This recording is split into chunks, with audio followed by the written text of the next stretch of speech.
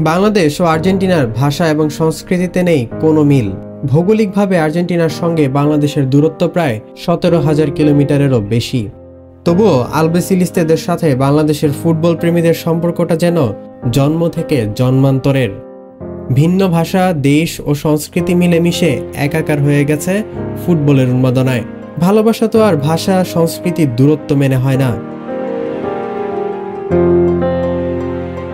কাতার বিশ্বকাপ ও মেসির কারণেই দূরত্ব ঘুচে গেছে মনের টানে।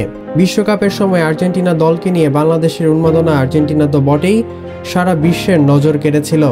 পুরো বিশ্ব মনে রেখেছে কিনা তা জানার উপায় নেই, তবে বাংলাদেশের সেই উন্মাদনা এখনও ভালোই মনে রেখেছে আর্জেন্টিনা। তবে দুই দেশের ফুটবল ভক্তদের মধ্যে এমনই সৌহার্দ্যপূর্ণ সম্পর্ক থাকলেও পেশাদার ফুটবলে চিত্র যেন একদম উল্টো। তাই তো প্রথম বাংলাদেশি হিসেবে আর্জেন্টাইন লিগে খেলতে যাওয়ার অভিজ্ঞতা মোটেও সুখকর হয়নি বাংলাদেশ ফুটবল দলের অধিনায়ক জামাল ভুইয়ার। গত বছর অনেক ঢাকঢোল পিটিয়ে আর্জেন্টিনার তৃতীয় বিভাগের ক্লাব সোলদা মায়োতে পাড়ি জমিয়েছিলেন তিনি। তবে চুক্তি অনুযায়ী দেড় বছর সেখানে খেলার কথা থাকলেও মাত্র সাত মাসের মাথাতেই ক্লাবটির সঙ্গে একতরফা চুক্তি ভঙ্গ করে দেশে ফিরেন বাংলাদেশ দলের এই মিডফিল্ডার। দলটির হয়ে চার ম্যাচ খেলতে নেমে দুইটি গোলও করেছিলেন জামাল ভুঁইয়া। মাসে চোদ্দ লাখ টাকার সমপরিমাণ পারিশ্রমিক দেওয়ার কথা ছিল আর্জেন্টাইন তৃতীয় বিভাগের ক্লাবটির।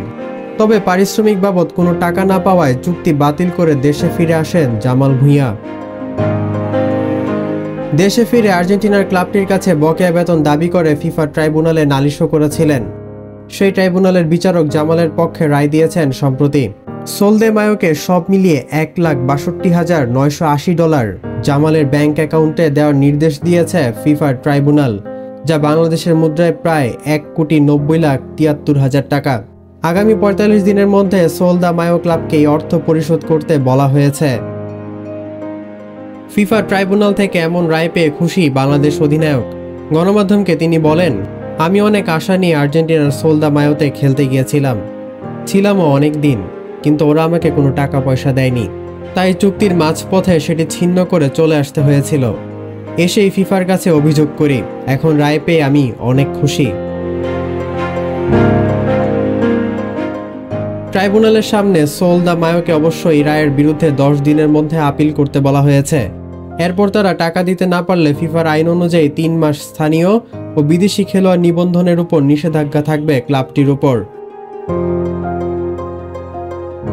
তবে আর্জেন্টাইন ক্লাবটি এমন অপসাদের আচরণ করবে ভাবতে পারেননি জামাল। এ নিয়ে তিনি বলেন, আমি ভাবতেও পারিনি যে ক্লাব আমাকে এত আগ্রহ নিয়ে নিয়ে গেল, চুক্তি করল, তারা আমাকে বেতনই দেবে না। আমার এই বছরের অক্টোবর পর্যন্ত চুক্তি ছিল, কিন্তু পারিশ্রমিক ছাড়া খেলতে বিরক্ত লাগছিল। তাছাড়াও আর্জেন্টিনা আর বাংলাদেশের দূরত্বটাও অনেক। আকাশযাত্রাটা খুবই কষ্টকর। বর্তমানে জামাল ভুঁইয়া খেলছেন আবাহনী লিমিটেডের হয়ে। আর্জেন্টিনা থেকে ফিরে চলমান বাংলাদেশ প্রিমিয়ার লিগের দ্বিতীয় রাউন্ডে যোগ দিয়েছেন তিনি। জামাল ভুঁইয়া দুই সালে ডেনমার্ক থেকে এসেছিলেন বাংলাদেশে। এরপর বাংলাদেশ জাতীয় ফুটবল দলের হয়ে খেলা শুরু করেন তিনি। দেশের ফুটবলে আস্থা অর্জন করে বনে যান জাতীয় ফুটবল দলের অধিনায়কও। এখন পর্যন্ত লাল সবুজ জার্সি গায়ে খেলেছেন আশিটি আন্তর্জাতিক ম্যাচ। রাকিন খান, অনফিল্ড।